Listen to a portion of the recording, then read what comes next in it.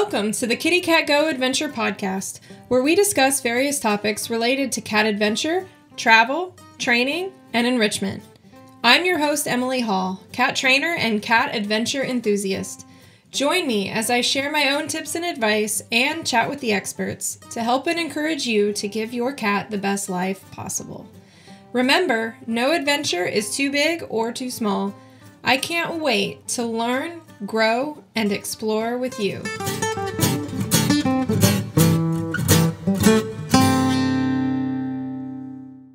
Your cat's leash, arguably one of the most important pieces of gear when you're out adventuring with your cat.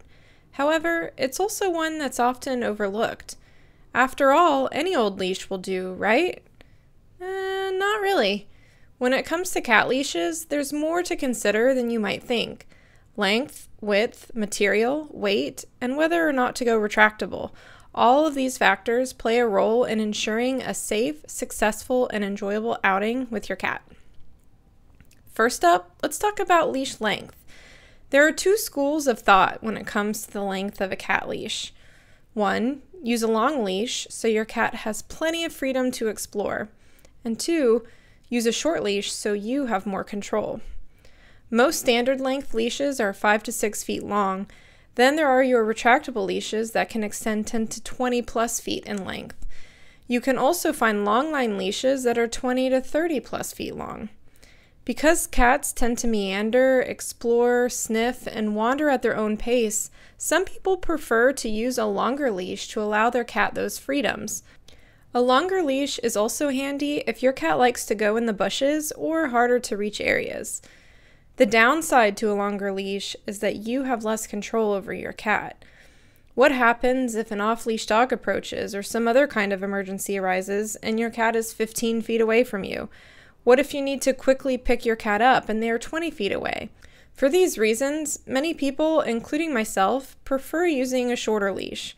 That being said, you don't want your leash to be too short because then your cat might be more likely to escape their harness.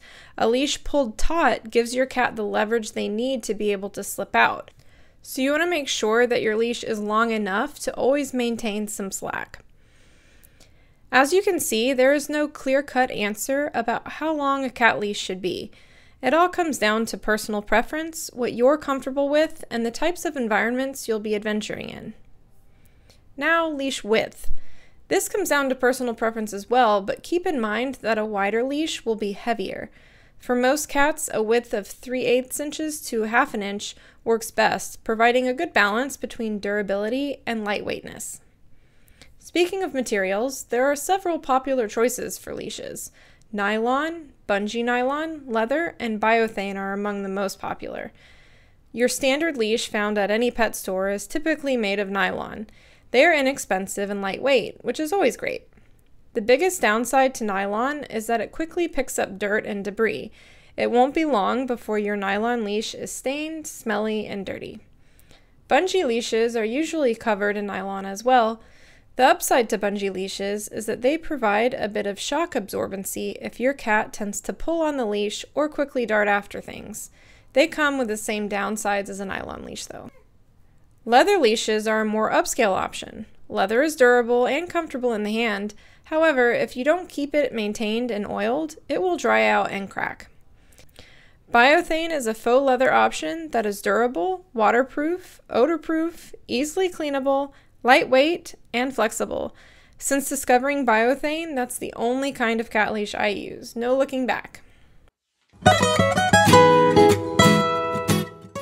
Tired of dragging around a soggy or dirt covered leash on all your cat adventures?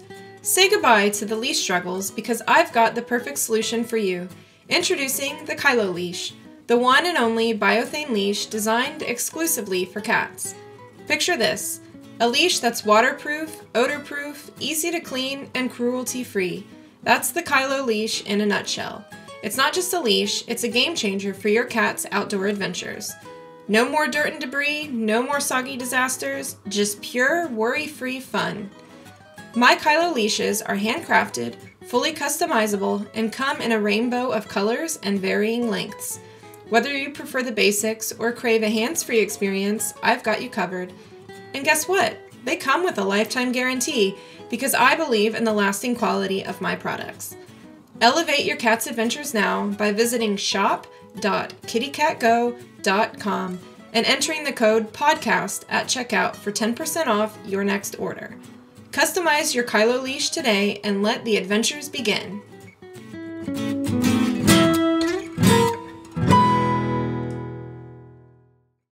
When it comes to leash weight, lighter is better. All of the previously discussed factors play into the weight of your leash. In addition to the length, width, and material, the clasp that attaches the leash to your cat's harness will greatly affect the weight as well. Most dog leashes have bigger, heavier clasps, which will cause your cat's harness to slide to the side as they walk, making it awkward and uncomfortable. This can greatly impede your cat's leash training progress. Finding a leash that is lightweight and durable is so important. This is where the Kylo leash shines. Made from biothane, it's lightweight, durable, and perfect for adventurous kitties. Now, let's tackle the controversial topic of retractable leashes. As with many of the factors discussed so far, whether or not to use a retractable leash is truly a matter of personal preference. Some people love them, some people hate them. There are benefits to a retractable leash. They allow your cat more freedom to explore, and they can also be locked into position at shorter and longer lengths. However, they also come with several drawbacks. Retractable leashes can break. It's not unheard of for the inner workings of a retractable leash to malfunction while in use. For example, the locking mechanism could break or the cord could pull out completely. They can also cause injury. The thin cord of the leash can easily get wrapped around fingers and legs, potentially causing rope burns or cuts.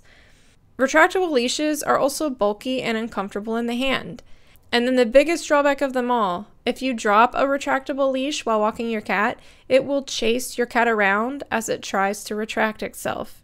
This is terrifying for some cats, which can cause serious setbacks in the leash training process. There are many cat adventurers who use retractable leashes and love them.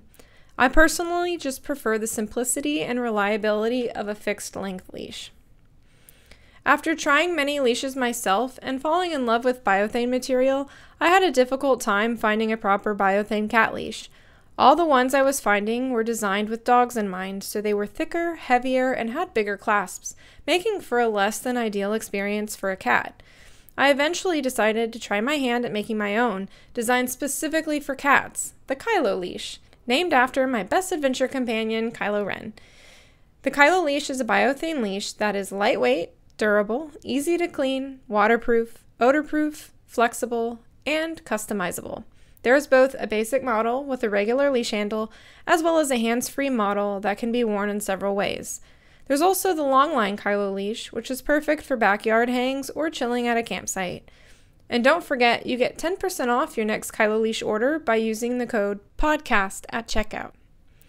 I hope you found all this information helpful as you make your leash selection.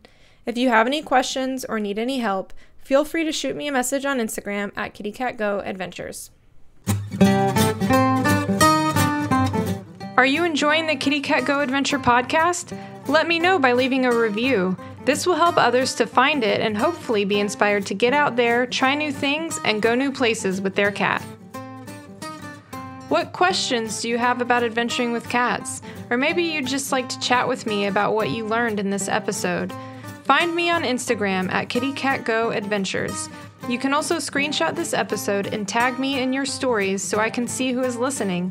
I'd love to continue the conversation with you, so find me on Instagram or join our Facebook group, Kitty Cat Go Adventure Team, so you can connect with a whole community of fellow cat adventurers.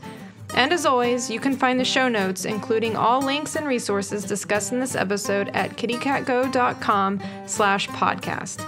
Until next time, happy adventuring.